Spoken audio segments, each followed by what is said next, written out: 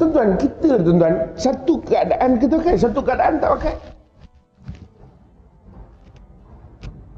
Kita risau kalau-kalau rezeki kita harap. Kita terlibat dengan riba, tak haram pula. Kan disebut la'ana Rasulullah sallallahu alaihi wasallam akila riba wa mukilahu wa katibahu wa syahidain. Nabi laknat orang yang makan riba. Token bank lah. Dia tukar makan. Lagi siapa? Wakil ni. Siapa? Manager bank. Eh, kan wakil. Kita kan nak pinjam loan dengan manager saja. Mana pergi cari owner bank tu? Kita nak cari owner bank. Ah, Encik, saya nak tanya bank ni siapa owner dia? Ada ke tu? Eh, apa hal pula awak nak tanya owner bank pula? Tak, saya nak buat loan sikit. Tak, dengan saya saja. Saya manager. Tu, Nabi Laknat. Sebab tu tuan-tuan, saya kata jangan dengar ceramah. Mabuk kita dengar ceramah ni.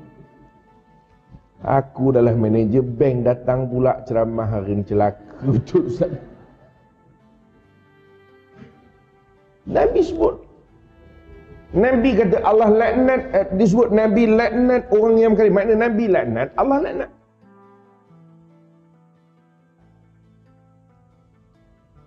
Orang yang jadi wakil, orang yang jadi tukang tulis, wakatibahu. Mana tukang tulis lah? Siapa tukang tulis? Oh kak. Kerani lah. Front desk ke, belakang desk ke, HR ke apa benda semua yang berkait. Kata para ulama tuan-tuan buka dalam kitab apa nama apa ke benda pula lah nama kitab pagi pagi Ahad ni tuan library tak buka. Kitab mazhab Syafi'i tuan buka.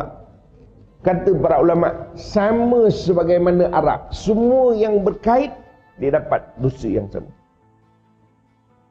Cuma beza tingkatan lah masing-masing. Ada dosa tu ada tingkatan-tingkatan. Artinya pun dosa. Sana Allah perhati, situ pun Allah perhati. Ini bukan soal orang yang merompak saja, bukan soal orang ambil duit orang saja. Yang terlibat-terlibat. Eh makcik, dengar ni. Kita, Ustaz, saya Ustaz, simpan saja duit.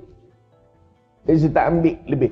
Saya simpan 2000 saya keluarkan 2000 je. Ada 2000 RM2.50 sen. Saya tak ambil kerana saya tahu itu bukan duit saya dan saya simpan ni dekat bank riba nanti saya makan riba. Oh, bagus nampak. Nampak alim sikit. Kan? Nampak alim sikit. Tapi dia tak perasan Allah Ta'ala sebut wat taqwa wa la ta'awanu 'alal ismi wal udwan. Jangan tolong menolong dalam kedosa dan permusuhan.